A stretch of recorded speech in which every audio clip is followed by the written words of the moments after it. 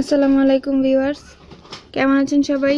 গণিতবিদের আজকের ভিডিওতে আমরা নবম শ্রেণি ফিজিক্স অ্যাসাইনমেন্টের আনসার নিয়ে হাজির হয়েছি। চলুন ভিডিও শুরু করা যাক।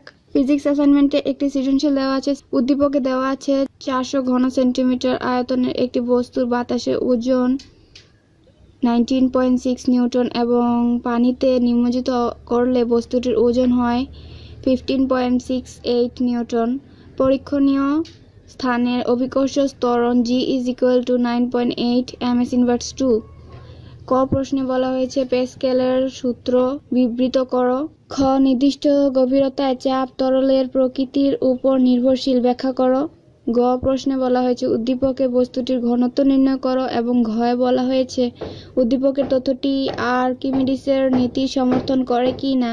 গাণিতিক বিশ্লেষণ সহ মতামত দাও। পেস্কেলের সূত্র, আবদ্ধ পাত্রে তরল বা বায়বীয় পদার্থের কোনো অংশের উপর বাইরের কোনো চাপ প্রয়োগ করলে সেই চাপ কিছু মাত্র না কমে তরল বা বায়বীয় পদার্থের সব দিকে সমানভাবে সঞ্চালিত হয় এবং তরল ও বায়বীয় পদার্থের সংলগ্নের পাত্রের গায়ে লম্বাভাবে ক্রিয়া করে।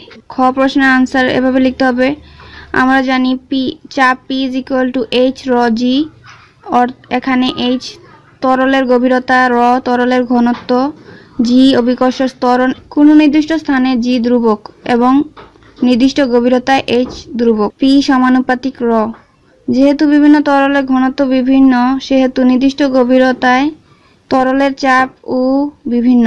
তাই বলা যায়, নির্দিষ্ট গভীরতায় চাপ তরলের প্রকৃতি তথা ঘনত্বের উপর নির্ভরশীল।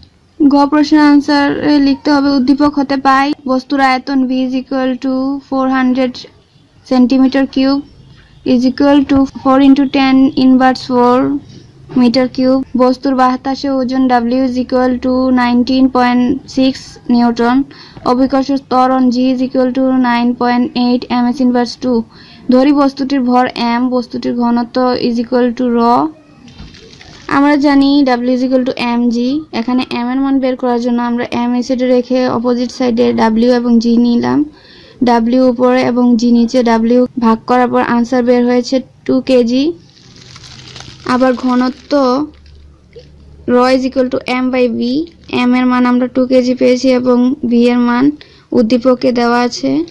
আমরা অঙ্ক করার পর আনসার পেলাম five thousand KG M inverse three sir লিখতে হবে, দেওয়া আছে বস্তুর আয়তন V is equal to four hundred centimetre cube is equal to four into ten inverse four metre cube বস্তুর বাতাসের ওজন W is equal to nineteen point six newton বস্তুর পানিতে ওজন W one is equal to fifteen point six eight newton অভিকর্ষ স্তরণ G is equal to nine point eight M S inverse two পানির ঘনত্ব র is equal to one thousand KG M inverse three বস্তুর পানিতে আপাত হারানো ওজন ডাব্লিউ মাইনাস ডাব্লিউ ওয়ান তাহলে এখানে মাইনাস করার পর আনসার হচ্ছে three point nine two newton বস্তুর সময়তন পানির ওজন is equal to M G V র জি ভি র এবং জি এর মান বসিয়ে আমরা আনসার পাচ্ছি এখানে three point nine two newton.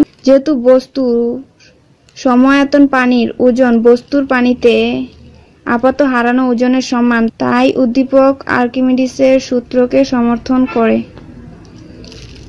Video সম্পর্কিত কোনো প্রশ্ন থাকলে বা মতামত থাকলে আমাদের কমেন্টের মাধ্যমে জানান। আপনি যদি গণিতবিদের ভিডিও প্রথমবার দেখে থাকেন, তাহলে আমাদের চ্যানেলে সাবস্ক্রাইব করুন এবং যদি আমাদের ভিডিও ফেসবুকে দেখে থাকেন, তাহলে আমাদের পেজে ফলো করুন এবং আমাদের পরবর্তী ভিডিও সবার আগে পেতে অল নোটিফিকেশন অন করে রাখুন। সম্পূর্ণ ভিডিওটি দেখার জন্য ধন্যবাদ।